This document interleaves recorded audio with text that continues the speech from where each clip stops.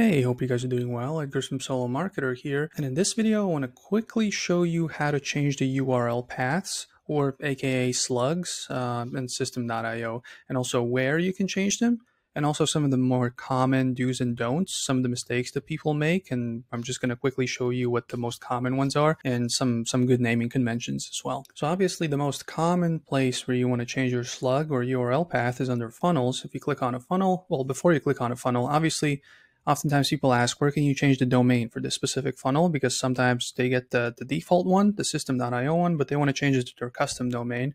So next to the funnel settings right they can drop down and just uh, select their domain. So that's kind of uh, before we tackle the slugs or the url paths you can change the domain here on a funnel level.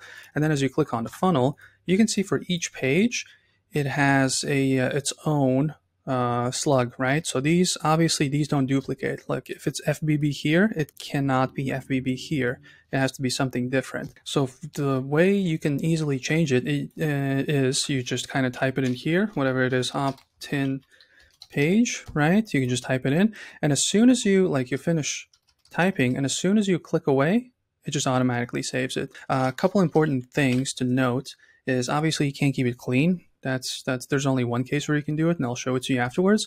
And also, you are not allowed to do caps lock because it's going to tell you this value is not valid. Why? No idea. But turns out it's case sensitive over here. Although in real life situations, you can do, you know, if you do opt in and then you'll you type it in as uh, with caps lock and you're like up at the top, uh, it's not going to be, it's not going to make a difference, right? But here it's case sensitive for whatever reason.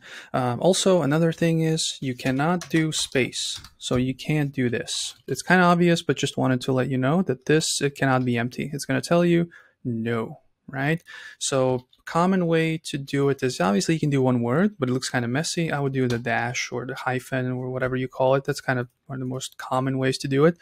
Or uh, also, if, if it's like one or two words, keep it short. Uh, do it like this. If it's like three, four, five, six words, uh, you can also do an acronym. Like instead of doing, for one of my pages, instead of doing funnel builder bundle, right? Instead of doing that, I just do FBB. Simple as that, right? So keep it short. If it's really long and it's just like letters and numbers and whatever, it just looks spammy. It looks messy. So I would try to keep it as simple as possible like this. So this is for funnel pages. And obviously each page has its own link, right? This one, FBB, thank you page, right? So that's kind of for yourself. You can do FBB thank you. FBB uh, for this one would be opt for often, opt-in rather, or LP for landing page, right? You can just keep it short and separate them with the dash.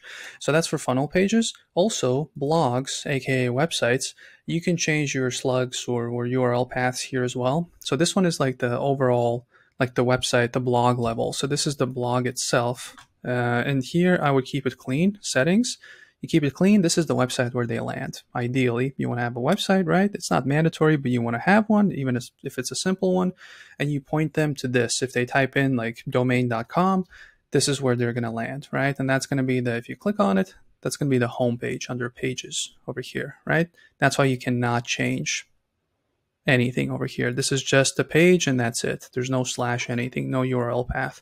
Uh, this one you can change under pages, the home page uh, and also a page list page, uh, sorry, post list page. Uh, for whatever reason, I honestly can't tell you, but you are not allowed to change the URL path. It just gives you slash posts and that's it.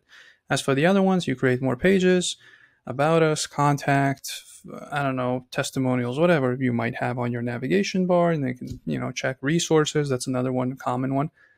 Settings, you can easily change it, right? You can do instead of contact us, you can do contact, but here you have to save. So click on save. Don't forget that. Uh, and the last thing is under posts, these are the blog posts, right? You have your every time you post it, and then you can go to settings, same thing.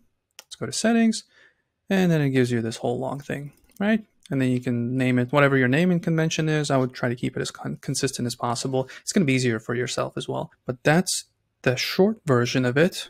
Just to recap, uh, keep it short, Keep it clean, no random letters and whatever it gives you by default sometimes. No spaces, use dashes, uh, no caps lock as well.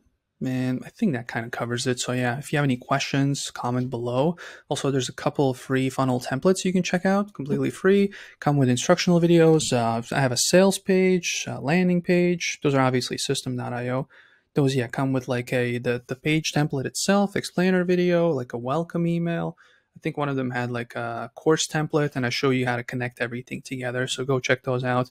Those are pretty cool. Hundreds of people have benefited from them already. So just, yeah, go check those out at no extra cost to you. But yeah, questions below. If you don't have any questions, I will see you in next video. Bye.